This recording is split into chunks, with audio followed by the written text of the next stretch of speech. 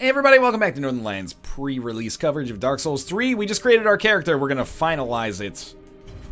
Okay to start game with this character? It's really the kind of character you should ask twice about. Uh, in this episode, we'll probably fight some enemies. I don't want to spoil too much. Get get to an area perhaps even. We may swing our sword a little bit. We're, we're going to start with what is, you know, the Dark Soulsy version of the tutorial. Uh, this is installed on my SSD, if I remember correctly, so the loading times are actually not too bad. Hopefully the audio balance is okay too. Feel free to let me know in the comments. But if you like the audio balance okay, don't say anything. You know, people like they like 99% of it, but they're like, oh, it could be 1% louder, and then it just, you know, oh, now it's too loud. Now it's not loud enough. We got a Goldilocks situation here. So remember, when the bell tells the link to the fire is in danger, and the Lords of Cinder rise from their graves. But now we're rising from our grave in the cemetery of Ash. Um, We'll, we'll do the whole tutorial here, of course, and I'll read all the messages on the ground. I am connected to the game online, so uh, there should be uh, messages written by players, but maybe not in our tutorial area. So the controls are Dark Souls. If you've played Dark Souls before, you will be familiar with what's going on here. Left bumper is shield. I'm trying to parry to show off that left trigger is parry. Yo, don't kill me right off the bat here. You're not gonna believe me, but last night I parried this motherfucker first time. There are also backstabs. Look, I'm not gonna need my, uh, all three Estus for this tutorial, probably. We got a Fading Soul from him. Uh, you can backstep and you can also roll. There is no jump anymore, which honestly I think is it, it, limits the game in terms of like the platforming kind of like secret areas they can have, but the jumping was always real wonky uh, in in Dark Souls and Dark Souls 2. So you know, I believe you me, I've I've tried all the requisite ways to get your character to jump. It seems like it's just a roll now, unless I'm missing out. There is also, you know, the ability to two-hand your weapon. I believe that if you're rolling uh, two different weapons, um, or sorry, if you're two-handing, I believe that you can have, uh, not two-handing, sorry, dual wielding. Let me go back here. Where, where does it tell me you can two-hand something? I don't want to misrepresent this because, again, access to the game is kind of limited, so I don't want to be just spreading misinformation around all over the place without having to. Also, it would be for the best if I didn't just get my ass kicked in the tutorial. there we go. There we go. Uh, let me read that. Dual wielding might not have been the term I was looking for. While two hand, while two handing, use right weapon skills. I have never done this in Dark Souls 3 yet. I guess this is like a riposte? So if a character tries to hit me, will I just like parry them or something? Or That is cool, man! Alright, so there's like a whole new move set that, that way. Um, X is use item, which of course we use for our Estus Flask. That is real neat. And there's kick as well. Kick is back. And it works most of the time. Uh, and there's parry and riposte. Okay, so that's basically the end of the tutorial. Um, I'll show off our starting equipment here as well, uh, in addition to the menu that we've got here. So the starting equipment, we've got uh, a long sword. You can see its attack power there. Physical is 110 plus 14. Low requirements, low scaling with strength and dex. Uh, we have a Knight Shield, which blocks 100% of physical damage. Uh, it's actually pretty good. Uh, I don't want to spoil too much again, but I've I've seen some equipment later in the game I, I, let me put it this way. I picked up some shields. I think this is still maybe the best shield that I've picked up so far. I'm going to take off my helmet and maybe my gloves just to take us under 50% equipment load and so I can see our wonderful head. Uh, oh, Ashen Estus Flask restores FP. Okay. Inventory, we've got uh, Way of the White Circlet, restore the link to other worlds. I don't know what these are used for yet. Black Separation Crystal obviously is to, if you don't want to have a, a Phantom summoned anymore, just kick it out. Dark Sign Unlimited use, lose souls and return a bonfire, and then the, the souls we started with. Fire gem creates a fire weapon, and we start with a long sword. Here's our status, as you can see. FP 56 out of 93. When we rest, that'll probably replenish, but it's not like we have miracles anyway. Change weapons, toggle items. You're all familiar with that, of course. Ridiculous. Just looks ridiculous. Um, by the way, this is on PC, like, default settings. It runs well, it looks good. Occasional frame rate dips, but not, like, consistently. Just when you're walking into a new area sometimes. Um, and I don't know if Like, let me put it this way. This looks good. It, it looks like DS fix is not required. And uh, lot, lots of impressive lighting and uh, and stuff like that. But I'll let Nick critique that as he gets a little, or has when he gets access, I should say. All right, there's a bonfire. We will rest at said bonfire. We will get FP back, HP, and also our endurance, of course. And uh, we learned rest, which if I just maybe switch point down, you can see that we got gestures here for communication. I don't think we can be invaded just yet, just because this is still the tutorial phase. Um, but there you go. There's your gesture. And we do actually have a boss coming up, but it's very much a tutorial boss. But I like that there's a tutorial boss. It's, it's kind of a Dark Souls tradition to have a tutorial boss. Um, I can't remember if Dark Souls 2 did, and the first giant wasn't really, or I think it might have been called the first giant, but what I mean, or the last giant, but what I mean is the first giant you fight was actually fairly tough. At least the first time through the game, so, uh, I, I miss kind of like the, uh, the dragon you fight in the opening area of the, uh, Undead Cemetery, or sorry, Undead Asylum. Um, this, this harkens more to that, I guess I would say. If we got hit by that, we would take a little damage because our shield doesn't block 100% of fire damage. We're just clearing these guys out. Let me put it this way. This is Dark Souls. Like, it's not Bloodborne. Um, you don't have to learn the difference between the, the two games in the sense that, you know, Bloodborne is a little bit more aggression-focused, Dark Souls is a little bit more defense. If you've played Dark Souls, you're not going to have too much of a hard time uh, getting into this because it pretty much works exactly the same. Bloodstains are here, which means we must be connected online. You can see this guy. Oh, oh, I'm rolled. I'm dead. Way to go, dummy. You just got splashed on. Anyway, okay. We gotta pick up this here. Remove sword. I really thought that this was Artorias the first time I, I saw him. As you might have expected. I've tried to do everything to not fight this guy, man. When you see a big guy on the ground in Dark Souls, and then you can interact with him, you're like, please no. Just let me go to the bonfire. But this guy's real mad that we've taken his sword. Um, but, to fight him, we pretty much just execute Dark Souls 101, which is stab him in the dick and run around him. But, I have fought some other bosses in the game. It's not a strategy that works on all of them. This guy kind of reminds me of like um, Dragon Rider from Dark Souls 2 in the sense that, you know, as you fight him, you're like, this is very Dark Soulsy. This is a big guy with a big weapon. Um,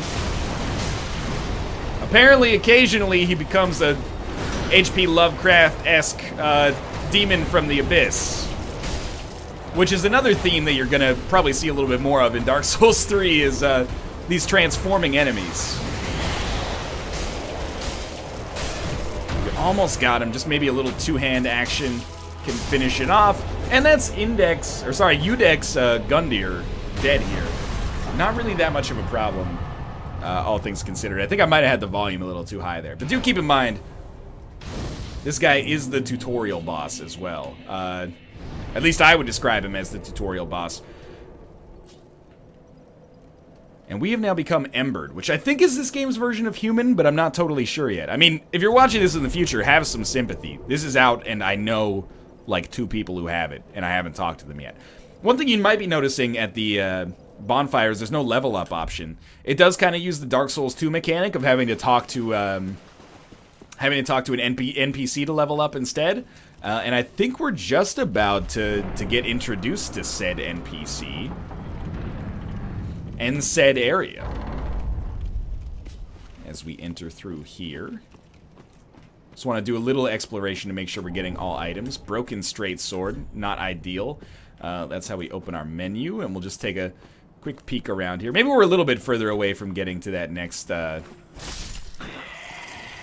getting to that next area. Which it should be, but keep in mind, you might be looking at this and going, oh, the, the, the boss is too easy, the pace of the game is too fast, you're, you're getting bonfires too quickly. It's a tutorial, man. Don't, don't sweat it too much. Now, I mean, even still, after beating that boss, I'd say we're still basically in the tutorial section of the game. And you'll know how I'm delineating that once we get to the next area. But let's not spoil too much. Again, great lighting. And I still, I, please keep in mind, I don't know this, okay? This is, this is all conjecture. I'm looking at this architecture here. Just wanted to make sure there were no enemies.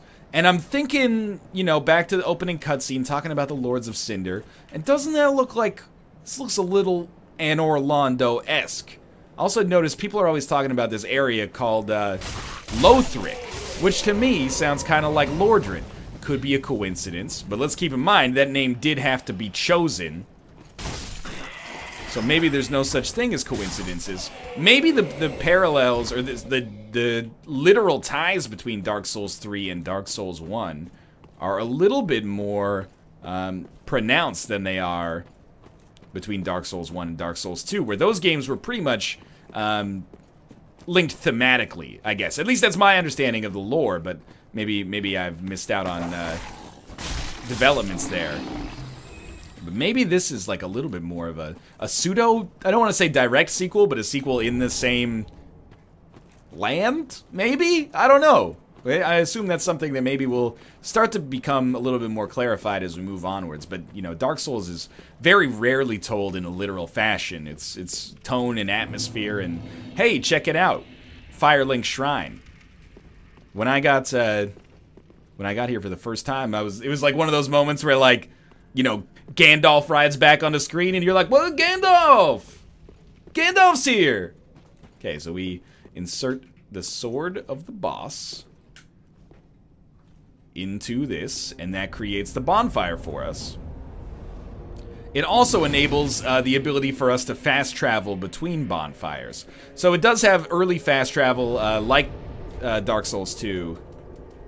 And this kind of serves as a hub world that we use to travel uh, further into the game. So we're going to move from here onto uh, the high wall of Lothric, which will be the next section.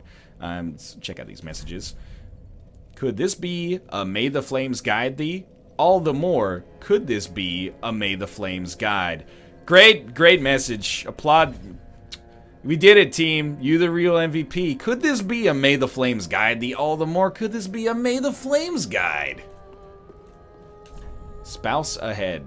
You know, that's disparage. No, I'm not going to actually disparage it. Welcome to the bonfire, unkindled one. I'm a firekeeper. Twisted firekeeper. I tend to the flame and tend to thee. The lords have left their thrones and must be delivered to them. To this end, I am at thy side. All right, so we can talk to her pretty much repeats what you've heard so far, but I'll, I'll show you the dialogue regardless. Um, the darkness within me. I believe in a thing called love. Take nourishment from these sovereignless souls. Just listen to the rhythm of my heart. Um, we're gonna level up a little bit here. I'm the most boring, like, first-time Dark Souls player, or at least I should say when I play a Dark Souls game for the first time, I'm always like, what worked in Dark Souls 1? Well, um, few levels in Vitality, few levels in endurance uh, typically has has done good work for me. We'll talk to her as well. One, to be unkindled is to be a vessel for souls. Sovereignless souls will become thy strength. I will show thee how. Ashen One, bring me souls plucked from their vessels. All right. I can do that. There's also a uh, crestfallen warrior type character here. Ah, Another one roused from the sleep of death. Well, you're not alone. We unkindled are worthless. Can't even die right. Gives me conniptions. And they'd have us seek the Lords of Cinder and return them to their molding thrones. But we're talking true legends with the mettle to link the fire. We're not fit to lick their boots. Gives us the collapse option here. I don't know, dude. All these e or not emotes, all these uh, all these gestures are worth something here. But let's uh, let's replace joy because we have jump for joy with collapse and see how that looks. Oh, that's beautiful. There's a lot of situations in which I'll I'll be able to find use for that. I'm sure. Um, We'll explore like a little bit of the Firelink Shrine area here. Read engraving. Holy King Lothric, last hope of his line. Uh-oh. I think we got a little little bug here. Not bug, just Dark Souls uh, uniqueness, where sometimes that message stays on the screen because I didn't dismiss it. Saint Aldrich of the Deep. What I'm really hoping is that maybe these are bosses, and as we kill them, they will come sit in these fucking thrones and talk to us, give us advice. That would be dope. Yhorm the Giant of the Profaned Capital. Well, I, I remember the name Yhorm the Giant from that opening cutscene. So I'm, I'm assuming that maybe there is indeed uh, some merit to my original assessment. Yo, NL, you know what's uh, you know what's coming, man. No, I actually don't. I haven't I haven't played that much of it. Mostly because I just arrived home yesterday uh, from like 14 hours of travel. So I'm a little out of the loop there. Let's uh, see what other NPCs we have here. You may notice the uh, telltale uh, blacksmithing sound of a man hitting a hammer onto an anvil. I'm just trying to remember where the heck that, that Joker even is here. I've also never gone up this way. Maybe this leads to the next bonfire. Uh, although we can also just travel to the next bonfire uh, using the uh, well using the fast travel. You can travel from any bonfire to any bonfire. At least that's my experience so far. All right, one second. Crestfallen Warrior. Um, I don't know what this lady's name is yet, but we'll just call her call her the Firekeeper. And oh my, could this be another tie-in to Dark Souls One? Time for friendship. You know what? You're goddamn right. Well, a newcomer, I see. I am Andre. I serve at as a humble smith, forging weapons. You're in search of the Lords of Cinder, I trust. A toilsome journey, I'd wager. You'll require good arms. Good thing I spent so much time at the character creation. Smith your weapons. I am a smith. Such is my purpose. Yeah, so this is Andre of Astora, I think. It's at least Andre, which is a cool callback or like direct link between Dark Souls 1 and this. Allot Estus. So you, uh, if you're a sorcerer, this is kind of a neat mechanic. You may choose to have four uh, FP improving uh, Estus and one, or sorry, three to one, like less HP regen, more magic regen. Or if you're a character like us that doesn't use any magic, you could just have four um, health Estus.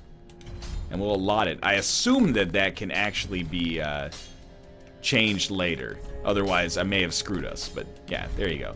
Uh, you can also reinforce your weapon, but we don't have any Titanite shards. But we're going to get them pretty soon here. Hey, be careful. I don't want to see my work squandered. Actually, Andre, what you're supposed to say is, "Don't get yourself killed out there." Okay, um, let's let's take the high road here, and I want to see if there is uh, just a way that we can walk to this next area. Probably not going to play in this video until the next boss. We'll just go a little bit longer. Um, where the heck was that? Down here, maybe. Um, we'll just go a little bit longer, maybe to the next bonfire, and then we'll end the episode. But I figured we just showed the tutorial so far, so we might as well move on a little bit. This is where we came in. Then we go to the right and come up here. All right, all right, all right. I got it. I'm pretty sure this is where the next bonfire will be, although I just teleported to it the first time that I played, so... I, I may be mistaken, but this might be new stuff to me, which is also interesting. Or this could still be the Firelink Shrine area. This is new.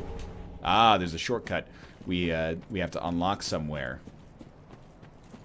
Well, it's not quite the robust area I'd originally considered it to be. Okay, so we'll just fast travel to the other area. That's cool. Um, one of the things I think that is going to be a point of contention is that so far it doesn't seem... Again, I'm super early. So please take this with a grain of salt. So far it doesn't seem like there's necessarily as much uh, looping and interact interacting uh, architecture. The bonfire will deliver thee to Lothric. Um, it's basically like, hey, asshole, if you're running around forever trying to find something, just go to the bonfire. Thought maybe it could be an illusory wall. Um, there doesn't seem yet to be as much kind of looping back on itself kind of architecture, Dark Souls 1 style stuff uh, as there was in the original Dark Souls. But I could be mistaken in that. That shortcut right there that I can't access yet has uh, has given me pause for that. So we're going to travel to the High Wall of Lothric here. This is an area I've been to. Thrallhood. Hood used to cover the head of lesser folk who were set to work as slaves throughout Lothric. Also occasionally used to shame and humiliate criminals. Morne's legging. Black leggings bestowed upon Knights of Carim, modeled on Morne, the Archbish- Archbishop's apostle, cast from a unique mineral resembling stone. A Carim Knight will dedicate an entire career to attending a single maiden. Yo, I was reading that. Dragon Scale Ring. Ring of Oceiros, former king of Lothric, reduces damage from backstabs. Robe of Prayer, Prince Lothric's robe. This prince, destined to be a Lord of Cinder, was cherished by the royal family despite being born into illness, a frail and shriveled child. His swaddling clothes are made of. Hey! Kind of reminds you of the, the story of uh, like Gwyn and. Uh, and uh, the the character whose name I Gwyndolin. There you go. The character I can't remember who uh, was like his kind of sickly son became the the prince of the Dark Moon Blades. All right. High Wall of Lothric. There should be a bonfire close by. Close by. Close by is good enough. Uh, kind of reminds me of Undeadburg a little bit. Kind of reminds me of uh, some of the early Bloodborne areas. There's our bonfire. I think we'll rest here. The video's a little short, but we're going to do a lot of stuff in the next one. So I'm going to call it for now. Uh, thanks for watching again. Thanks for your support on the series. Uh, if you want to avoid spoilers, don't watch until the game comes out because there are going to be spoilers, uh, starting especially right now. I'll be back shortly with another episode. Again, for now, thanks for watching, and, and I'll see you next time.